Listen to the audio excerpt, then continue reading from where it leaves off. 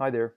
This is an introduction on how to introduce Bluebeam Revu into your Vectorworks workflow.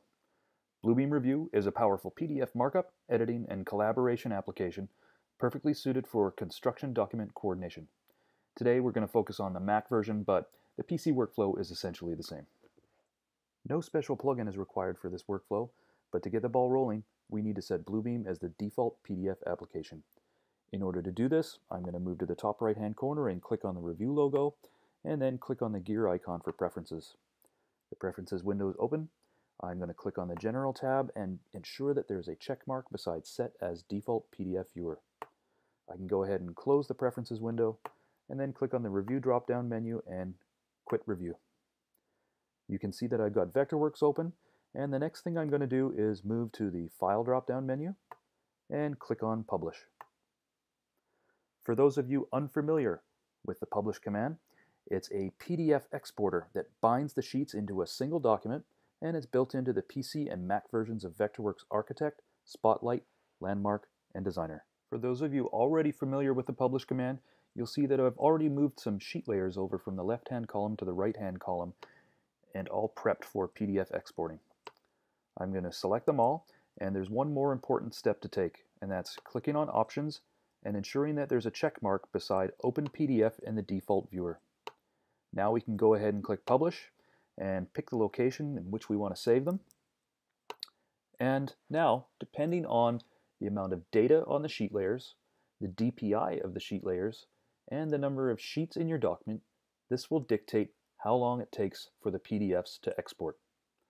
Once it's complete, which should only take a few more seconds, you'll see that the documents automatically launch Bluebeam Revu, and open at the same time.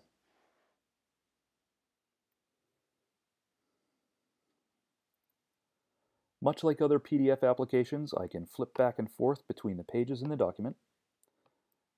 I can also zoom in and zoom out using the scroll wheel on my mouse or the trackpad on my laptop, as well as pan around.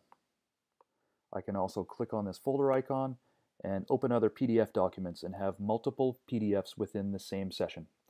So here I'm going to click on a file from the same project, but slightly older with a different date. Here you can see they're tabbed across the top, or I can view them in a split screen view by clicking on one of these icons in the lower left corner.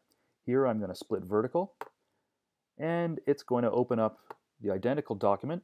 I'm just going to click on the newer version and make sure that the older version are side by side, and here I can zoom in and manually try and compare differences between the two drawings. But down here in the lower right corner is a really nice feature called Sync. As soon as I select this, as soon as I pan or zoom around in one document, the other document does exactly the same. And this process really streamlines document review. Another way in which you can compare documents is to take advantage of overlay pages click on the Document drop-down menu, then click on the Overlay Pages icon.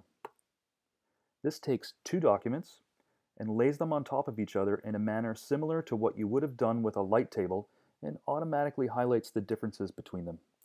In this case, it's got the file dated 2016-04-15 ready, and I'm just going to add the other file that's already open, and it's dated 2016-03-18 and it wants to highlight the differences between the two in red and green.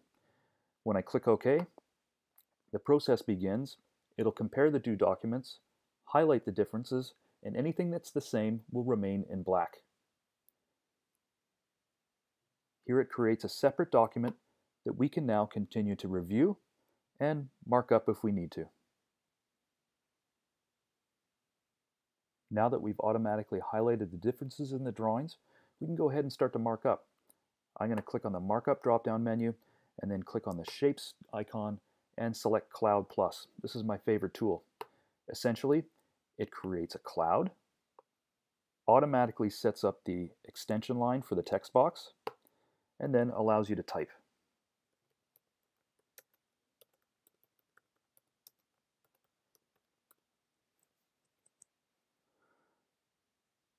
Now let's say we've got a few more bathroom markups to make.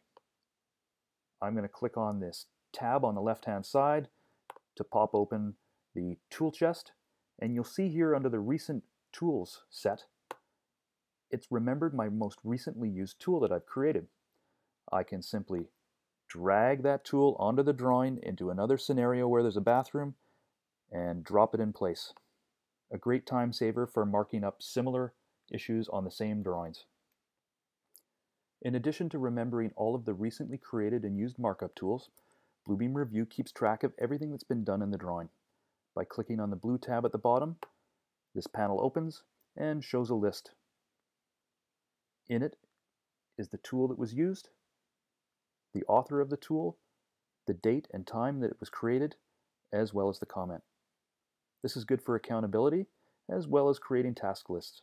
And here we can create a CSV or PDF summary of what's been done in the drawing in order to pass it along to a colleague for completion. So this has been a brief overview of how to incorporate Bluebeam Revu into your Vectorworks workflow. If you'd like to discover some other opportunities where Bluebeam can be incorporated into your office, don't hesitate to give us a call. We'd be happy to help you out. Thanks and have a good day.